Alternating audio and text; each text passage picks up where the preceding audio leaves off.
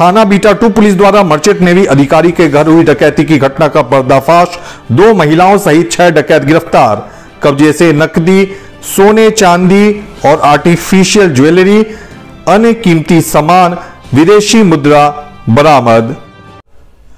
घर का भेदी लंका ढाए। जी हाँ, इस केस में यह मुहावरा बिल्कुल सटीक बैठता है। गौरतलब है कि बीते 5 सितंबर को बीटा वन में एक मर्चेंट नेवी अधिकारी के घर डाका डाला गया था, जब बीटा टू पुलिस ने इसकी छानबीन शुरू की और घर की नौकरानी और घर के बुज़ुर्ग के एक केयरटेकर को खंगाला गया, उनका टो लिया गया तो मामला पूरा खुलकर सामने आ गया। दरअसल, इसी घरेलू नौकरानी जो पिछले आठ साल से इस घर में काम कर रही थी और केयर टेकर ने अपने परिवार वालों के साथ मिलकर पूरी साजिश रची और इसमें मुरादाबाद फरुखाबाद में सक्रिय पंखिया गिरोह की सहायता ली गई और बकायदा उनके बदमाश यहाँ आए और सबने मिलकर यहाँ डाका डाला था। इसमें रेकी भी की गई थी। इस मामले में एक प्रेस कॉन्फ्रेंस का आयोजन बीटा टू थाना में किया गया। इस बारे में हम सुनेंगे डीसीपी अभिषेक वर्मा को, लेकिन उससे पहले आप सभी से एक गुजारिश, अगर अभी तक आपने हमारे YouTube channel Greno news subscribe नहीं किया है तो उसे तुरंत सब्सक्राइब करें, बेल आइकन को क्लिक करें। जो भी महत्वपूर्ण खबरें हैं, उसे आप जुड़े रहेंगे, उसका नोटिफिकेशन आपको तुरंत मिल जाएगा।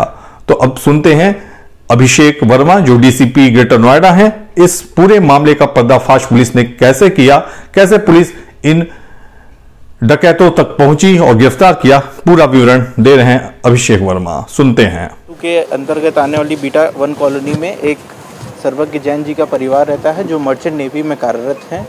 दिनांक पाँच नौ बाईस की अर्ली मॉर्निंग, लगभग ढाई से साढ़े चार के बीच में इनके घर में कुछ अज्ञात बदमाश घुसे थे, जो इनके परिवार को बंधक बना करके घर में डकैती डाली गई।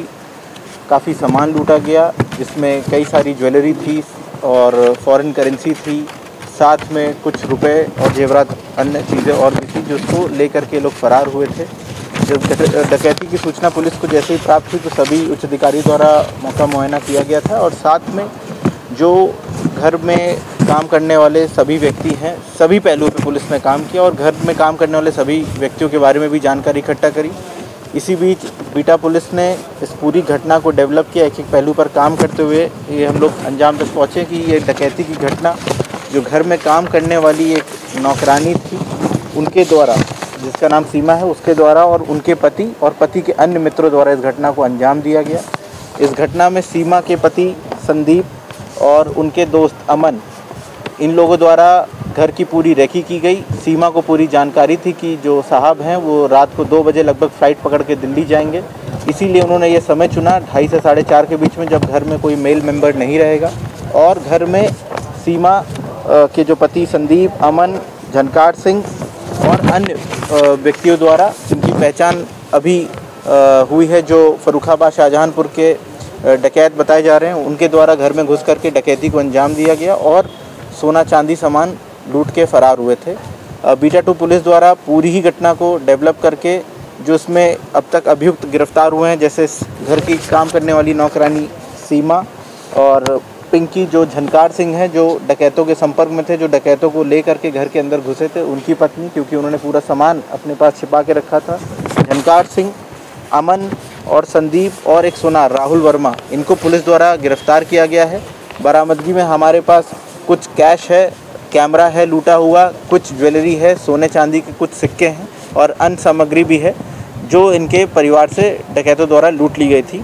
बीटा टू पुलिस द्वारा एक बहुत ही सराहनीय कार्य किया गया है और बीटा टू पुलिस की आ, सभी जनपद नोएडा की तरफ़ से कमिश्नर सर की तरफ़ से सराहना की गई है और इसमें जो बचे हुए अभियुक्त हैं उनके लिए दूसरे जनपदों से समन्वय स्थापित करके उनको भी जल्द गिरफ़्तार किया जाए तो आप थे डीसीपी ग्रेटर नोएडा, अभिषेक वर्मा, जो इस पूरे केस के खुलासे के बारे में प्रेस कॉन्फ्रेंस कर पूरी जानकारी दी। हमारी भी एक गुजारिश आपसे, अगर आपके घर घरेलू सहायक है, नौकरानी है तो उसका पुलिस वेरिफिकेशन तुरंत कराएँ। खुश रहें, सुरक्षित रहें। फ़िलहाल इस खबर में इतना ही, और एक बार फिर एक गुजारिश, महत्वपूर्ण खबरों से जुड़े रहने के लिए हमारा यूट्यूब चैनल ग्रेनो न्यूज़ तुरंत सब्सक्राइब करें। नमस्कार।